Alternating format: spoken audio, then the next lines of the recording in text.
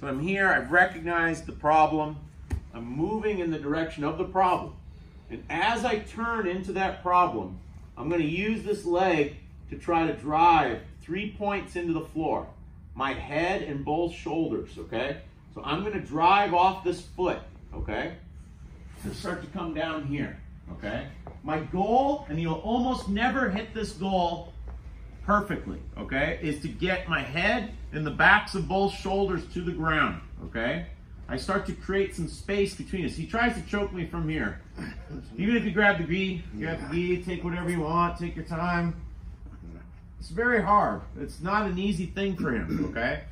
I'm putting a dead weight into my head and my shoulders.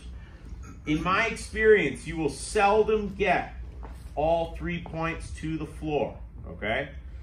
Of the three points, the most important is the shoulder nearest to him. You want to continue to work for that shoulder more than the others. What you don't want to do, come back on. Here, I've made things vaguely intimate. I have my kickstand. Is I don't want to say, oh, I can't get this shoulder down, so I put my head and my shoulder here. This is not good. That reasserts his back control. Do you understand? If we were to like go like super loose with your arms, just no, even looser. Just be out like this. Yeah, like yeah. This will never happen, okay? But if you want to understand what I'm trying to do in like a perfect world, it's like I'm trying to almost get perpendicular to him as I come down. Does that make sense? Mm-hmm. You will almost never get to feel like this because he's going to try to stay connected to you. That, that's his job, right?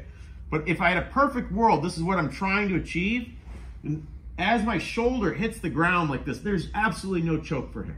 Okay, whether he could be behind my head completely with both arms, I'm, I'm fine. As I keep weight in his arm on top of that, it's very hard for him to choke me. Okay, so